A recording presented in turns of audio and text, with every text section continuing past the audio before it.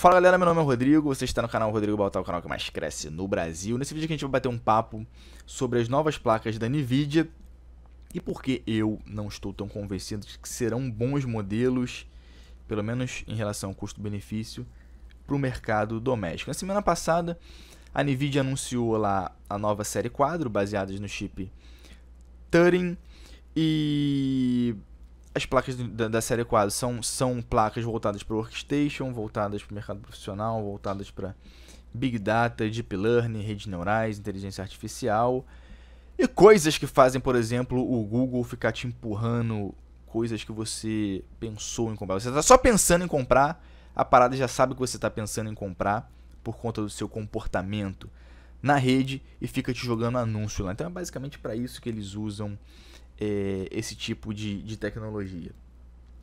Então a Nvidia anunciou lá a, as novas quadros e ontem parece que anunciou aí as novas RTX 2080 Ti, 2080 Ti, 2080 e 2070 e caralho, tá, caralho, agora vocês podem ficar em paz, já que o nome é 2080, 2070. Caralho, o nego tava insano querendo saber qual era o nome da porra. Informação em primeira mão: quem decide o nome das placas da Nvidia sou eu.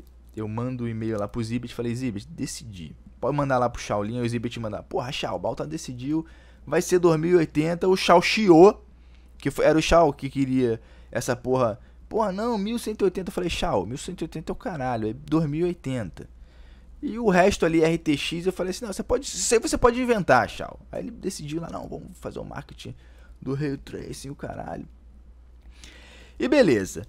A Nvidia anunciou é, essas placas aqui. O que, qual o diferencial dessas placas para GTX, para GTX anteriores? É o Ray Tracing e são os Tensor Cores, que eles vão trabalhar ali provavelmente é, bem juntinhos, né? Se eu não me engano, se não me falha a memória, se não é uma ignorância muito grande da minha parte, quem desenvolveu os primeiros Tensor Cores foi o Google. Não tenho certeza, não tenho certeza dessa porra.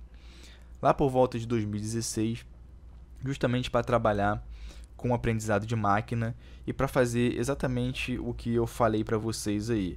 É, conseguir jogar é, anúncios né, na sua cara, coisas que você está só pensando e a porra já tá te jogando lá para fazer, no caso você gastar lá o seu rico dinheirinho. Então todas as empresas usam muito isso hoje em dia, o Google usa isso, a Microsoft usa isso, é, o Facebook usa isso e bom, essas placas são é, voltadas a acelerar esse tipo de, de, de computação de aprendizado de máquina. Se eu não me engano, o Google usava eh, essas placas, esses tensor cores para calcular ali operações de ponto flutuante simples, né, FP8, que é ponto flutuante de 8 bits com baixa precisão e fazer texturização, alguma coisa assim, não tenho certeza.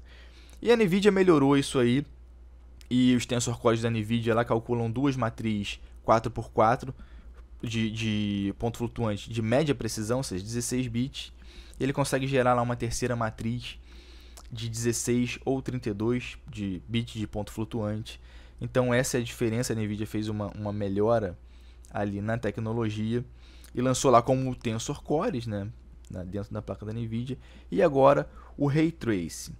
Bom, o Ray Tracing vai trabalhar ali diretamente com o, o, os Tensor Cores, né? E tem lá, ah, não sei quantos gigahertz, o caralho, blá, blá, blá, e tudo isso aí e eu tenho assistido a live, eu assisti a live do HW Up, que era com. Foi na semana passada, né? Quando eles anunciaram a, a série quadro, eu assisti completa aquela live. E assisti ontem metade. Cheguei no futebol, falei, pô, assisti metade da, da live. assisti metade da live. Eu tenho achado interessante porque eles têm trazido um conteúdo técnico e. Se eu não me engano, é, é Bruno. E tem um outro maluco também. Acho que é Bruno. Bruno Marrone. É o Bruno Marrone da HW Up. E eu tenho achado interessante ali. E bom, vamos lá. Por que, que isso aqui não me enche os olhos, cara? É, são duas unidades ali, mais duas unidades dentro do chip da NVIDIA que tem lá é, os CUDA cores. Tem os CUDA cores que tem ali mais ou menos a função de, de tirar a carga da CPU e fazer trabalhos de física, fazer cálculos eh, geométricos, se eu não me engano. É onde fica a parte de processamento bruto hoje em dia da GPU.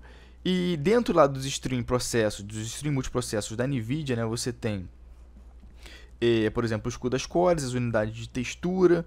Para cada, pelo menos antigamente era assim, né? Para cada 4 CUDA cores você tinha duas unidades de load store e dentro desses CUDA cores você tinha uma unidade de ponto flutuante, uma unidade de inteiro, uma unidade, uma unidade de despacho e uma unidade de busca de operandos.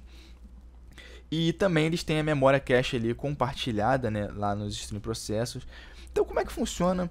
É, mais ou menos, antigamente, é, o que era muito importante na, na, nas placas de vídeo era a, a quantidade de texturização que elas faziam. Por exemplo, os CUDA cores eles não fazem eh, renderização de textura.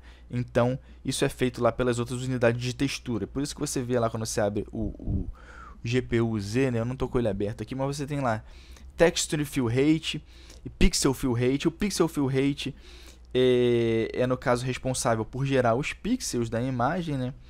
E o Texture Fill Rate é, é o responsável por jogar as, as texturas na imagem. Então, quanto mais você tem clock ali na sua placa e quanto, quanto mais unidades, quanto mais hops que você tem, hops é o rasterization, operation, pipeline. Então, esse, essas, essas unidades de textura fazem ali, geram a imagem, elas jogam lá para os hops que exibe lá, que vai mandar lá para a GPU, para ela poder exibir as mensagens, as imagens na tela. Então é mais ou menos assim que trabalha uma GPU. Elas são unidades de, de processamento muito mais simples e que fazem, no caso, uma paralelização muito maior, né? coisas que o CPU é exatamente ao contrário, faz muito, muitos cálculos complexos, onde a paralelização é muito mais difícil. E o que, o que é o Ray Tracing e o Tensor Core, cara? São duas coisas é, que provavelmente a gente não vai ver como uma coisa interessante nos primeiros jogos. Já saiu alguns benchmarks aí vazados, por exemplo, no Rise of Tomb Rise of Tomb Raider foi um dos jogos que eu falei, sei lá, ano passado, quando tinha lá 1080, eu falei assim, ó, o jogo que vai vir para vender placa de vídeo vai ser o Tomb Raider. Tomb Raider vai vir aí com Ray Tracing, o metro fudedor de placa de vídeo vai vir com Ray Tracing aí.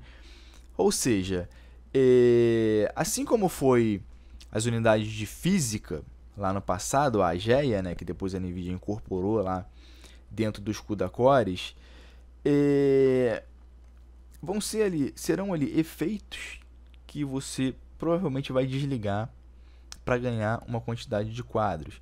Você não vai ganhar é, performance no jogo caso você tenha uma placa que tem lá o Tensor Core ou a não ser que a Nvidia faça alguma coisa para usar o Tensor Core para calcular alguma coisa. Mas o Ray Tracing também é, não vai ser algo que vai te, te ajudar, vai ajudar na sua performance. Não vai. Não vai ajudar. Ele só vai, ele só vai poder ajudar ali caso o jogo tenha, no caso, é, suporte a essa tecnologia. Então, se você tem lá uma 2080 que tem Ray Tracing e uma 2070 que tem Ray Tracing, a performance delas com o Ray Tracing ligado vai ser diferente. Óbvio. Agora, se você tem lá, vamos supor que eles lançam lá uma GTX 2060, que tem um poder ali semelhante, vamos supor que é isso, um poder semelhante a 1080 de agora. E nenhum, é, nenhuma das duas suportam Ray Tracing. Como é que vai ser o desempenho delas, por exemplo? Vai ser basicamente a mesma coisa. Vai ter que ver lá quantas quantidades, qual a quantidade de CUDA core, qual a largura de banda que ela tem, qual é a velocidade da memória, quantas unidades de textura. Então, essas coisas continuarão sendo importantes. E o Ray Tracing é só para quem vai querer usar o Ray Tracing. Só. Só. Então, é, eu não acho interessante isso nesse momento. Por quê, cara? Porque queira nós ou não, o mercado de jogos ainda é ditado pelos videogames, ainda é ditado pelos consoles. Os consoles são AMD E a próxima geração de consoles também será, próxima geração dos consoles, né? Também, muito provavelmente, será AMD. Já tem vários rumores aí, AMD nave, o caralho, lá no canal do Enéas. Tem lá falando que o PS5, sei lá, vai ser nave e tal. O nego fica vendo essas paradas aí e traz esse tipo de informação. E a AMD, por enquanto, não é capaz de fazer lá o, o Ray. Então, o que será da próxima geração? A AMD pode fazer um negócio com a Nvidia e enfiar o Ray Tracing lá, que eu acho muito difícil. Enfiar o Ray Tracing, ou pode fazer alguma coisa semelhante, ou simplesmente pode cagar e tentar boicotar de vez essa tecnologia da Nvidia no mercado de games. Porque a, AMD tem bastante poder sim, embora as placas de vídeo delas para o mercado de PC não sejam modelos tão interessantes hoje, quem manda no videogame ainda é a AMD. É a AMD que faz os sockets lá, tanto do PS4 quanto do Mil Grau. Então, eu não vejo com bons olhos essas tecnologias aqui para o mercado doméstico. Para o mercado profissional, é óbvio que são boas tecnologias, porque o mesmo cara mostrou lá numa Tesla é, V100 que não conseguia, quatro Teslas V100 não conseguia fazer o mesmo cálculo. Se bem que eles, que eles mostram ali, tudo mentira também, né, Shaolin? Ninguém acredita nessa porra que vocês mostram aí. Aí, é em tempo real que a parada tá rodando. Porra, Shao.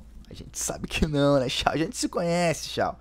Shao é meu amigo, já encontrei com ele no, no saguão do hotel. Mente pra caralho, mente que nem sente. Aquela super placa de vídeo lá que ele mostrou. É, a, a, GTX 1080 lá, que porra, era uma pica, fazia overclock pra caralho. Quando o nego pegou, não era porra nenhuma daquilo. Então, beleza. Então, é, as pessoas têm que tomar cuidado primeiro com o hype. Ah, vai, vão sair placas. Pô, se, se o desempenho dessas placas é, forem melhores, realmente melhores do que a 1080, e com certeza serão, né? Com certeza serão. Mas tem um teste interessante da Chipart lá que eles, que eles testam uma Titan XP com uma Titan V. Titan XP versus Titan V, tá ligado que o nome é diferente, né? E a diferença é muito pequena. A diferença é muito pequena. Eles testam lá uma que é voltada é, é feita na Pascal e a outra que é voltada lá que tem mais CUDA cores, que tem mais é, que tem a largura de banda maior, blá, blá. Então, a diferença é muito pouca, se eu não me engano, cerca de 10 quadros. Então a gente vai ver como serão os desempenhos dessas placas com essas tecnologias desligadas, porque com a tecnologia ligada, por exemplo, a, a 2080 Ti, pelo que vazou aí num teste, e vocês podem procurar, provavelmente vocês já viram, mas procura essa porra, caralho, que eu não tenho paciência de botar aqui é, ela faz lá em 1080p cerca de 30 quadros com uma 2080 Ti.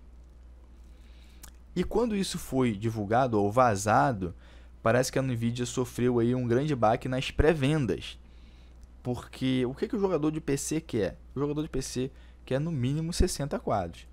E o jogador de PC é, é, que usa o avatar japonês, que vê lá Cavaleiro do Zodíaco, e, por quer enxergar todos os, os, os raios lá do, do Aiolia de Leão no Cápsula, da, Cápsula do Poder, o cara quer é, o Tracing lá e, caralho, 144 FPS. Isso não vai ser possível, cara. Isso não vai ser possível. Você vai ver o Cápsula do Poder igual o Seiya viu, meu irmão. Lento pra caralho. Você vai poder escapar de todos os raios de luz, assim.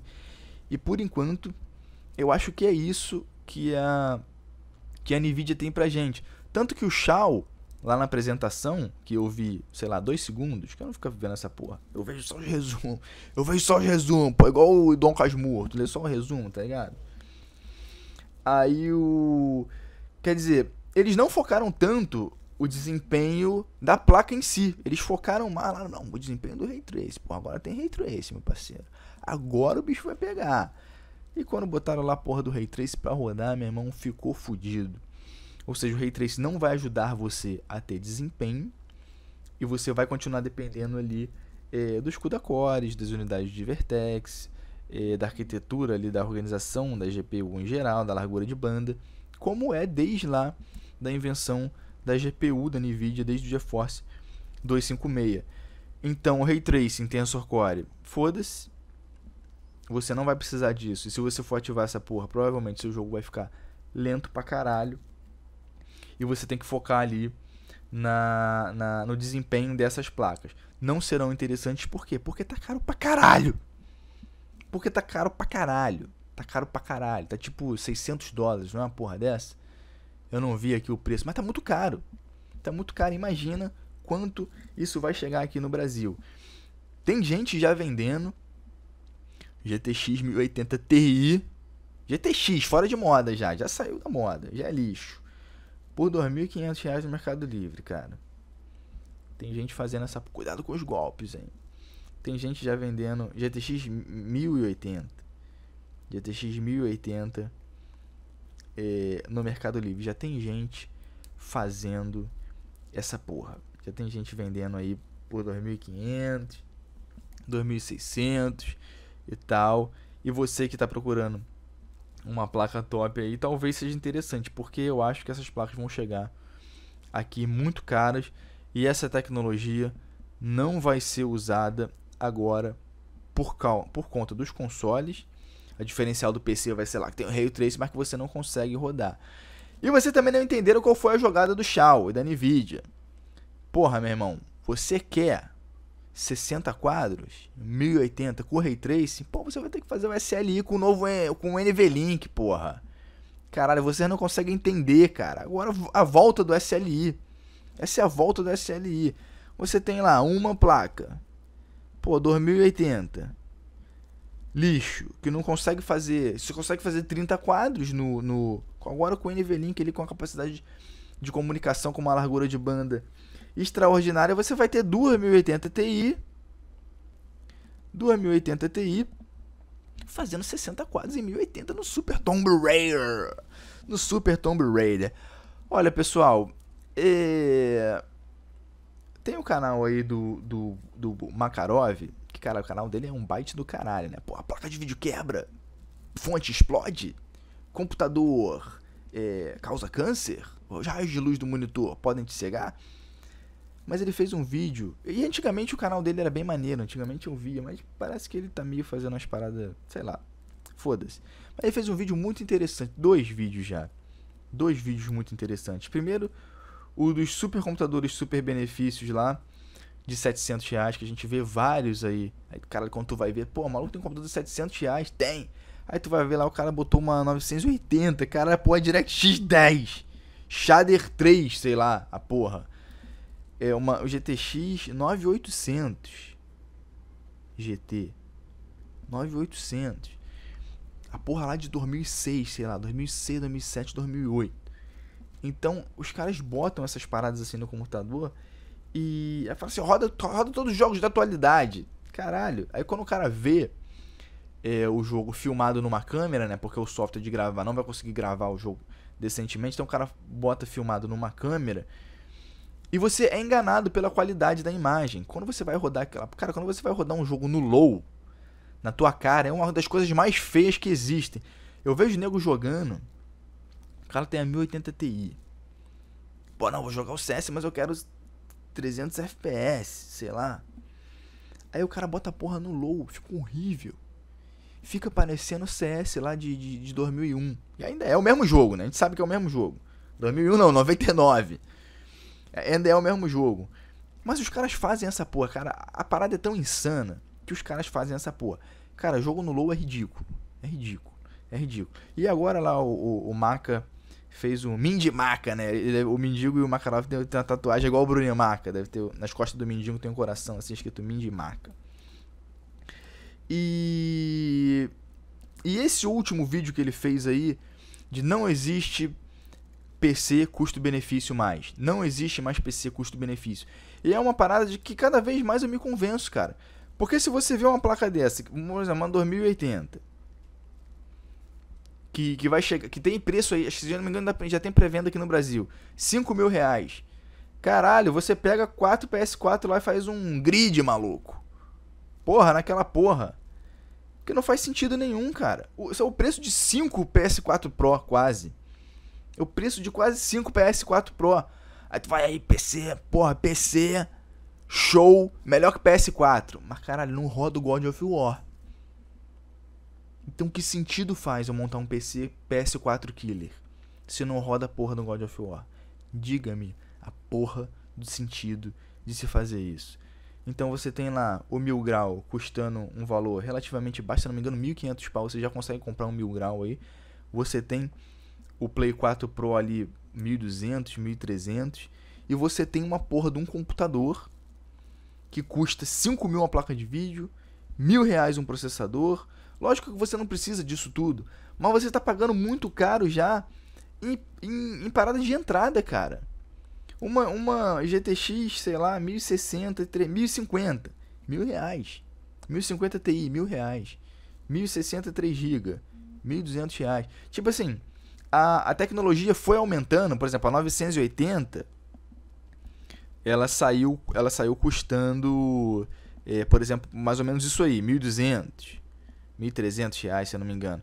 A HD 7970 custava isso aí, 1.200 reais.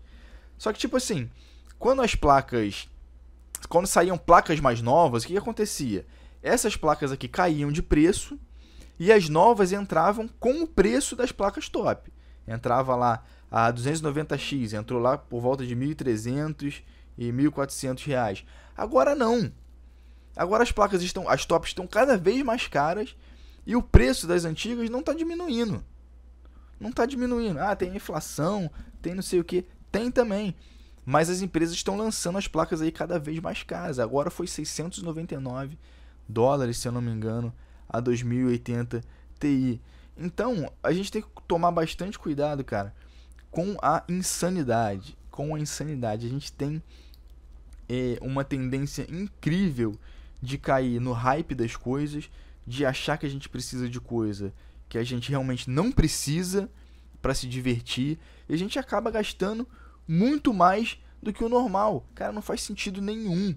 Não faz sentido nenhum. Se você for montar um computador para jogar, pô, eu quero jogar normal, não insanamente. Pô, vou jogar mais ou menos como os videogames fazem. Ou vou jogar em 4K 30 FPS, que é o que, a gente, é que o mercado pode te oferecer agora, com, com um preço é, relativamente normal. Ou eu vou jogar lá em 1080 em 144, 60 Hz, ou até o que fica no meio termo ali, que é o 1440p. É, cara, e, e, tipo assim, e tudo isso aqui já está muito caro. Tudo isso aqui já está muito caro. Então a gente fica assim, caralho. Tá complicado. Vai vir um Tomb Raider aí pra vender placa de vídeo. Pô, vai ter uma porrada de. Porra, Ray 3, porra! Caralho, você vai precisar do Ray 3 para você ver toda a beleza desse jogo. E a gente cai nessa porra, cara. A gente cai. Eu troquei a minha. 200, vamos voltar até a 290x. 290x eu mandei pro RMA, peguei uma 390X que veio, né? E eu joguei o Witcher 3 com a 290X, que eu tava zerando ainda, com a 390X. Depois a 390X foi pro RMA também. Eu comprei a 980 para não esperar. Joguei o Witcher 3 com a 980. Joguei as expansões do Witcher com a 980 Ti. E agora eu tenho a 1080. E o que eu joguei que eu precisava de uma 1080, que eu não pudesse ter rodado com a 290X. A 290X queimou. Mas o que eu rodei? Não sei. O Wildlands eu não fui até o final. Porque eu não tenho jogo. Só o Rony que tem o jogo. Ele deixa aqui a, a, a parada comigo. Eu não joguei. O Battle 1 é uma merda. tentei jogar campanha, é uma merda. Não gostei daquela campanha lá. Do Battle 1. Mas o que? Watch Dogs 2 rodava também na, na, mesmo que eu tivesse que diminuir ali para 1080, rodava na 290x, não rodava? Eu acho que rodava. Então, caralho, já seriam aí, sei lá, 5 anos com a 290x, mais ou menos. E a minha 980 Ti durou o quê? Um ano? Dois anos, sei lá. Quer dizer, eu falo da insanidade. Você vê que eu comprei a 1080 para fazer teste aqui no canal. Se eu não tivesse o canal, provavelmente eu estaria com a 980 também. Ou não, ou não, ou não. Só falo isso para fingir, para não, pra não, pra não mostrar para vocês que eu também sou idiota. Mas na verdade, lá no fundo, eu também sei e fico tentando me enganar. Então é isso aí, pessoal. É, assista esse vídeo do Makarov lá. Não existe mais custo-benefício em PC, cara. Pro cara que tá entrando, o cara que não tem um computador. O cara vai entrar agora, caralho, gabinete caro pra caralho, ou lixo, quer dizer, você tem caro ou lixo. As opções Meio, se bem que tem umas opções meio termo ali de gabinete. Fonte, placa de vídeo cara, placa mãe assim você não acha tanto, processador caro pra caralho, memória tá mais caro que um processador. Pô, a memória tá mais cara que um processador, cara. Em 2016, final de 2016, um amigo meu comprou 16 GB 3200 da Corsair, cara, por 400 reais. Reais. 400 reais. E caralho, agora tá quanto? Mil? Mil? Mil duzentos? Porra, mas, porra, mas tá faltando memória no mercado. Bom, tá faltando memória no mercado, mas o PS4 e o Xbox Mil Grau não aumentam o preço, né? Então isso aí é só uma reflexão, galera. É só uma reflexão. Só uma reflexão pra gente não cair no hype dessas paradas aqui do dessas placas novas aí no mercado. E é claro que quando eu falo lá do Zibert e tal, do nome da placa, que eu que escolho o nome da placa lá com Zibert e com Shaolin, é mentira, sou eu que escolho sozinho essa porra. Pessoal, um grande abraço e até a próxima.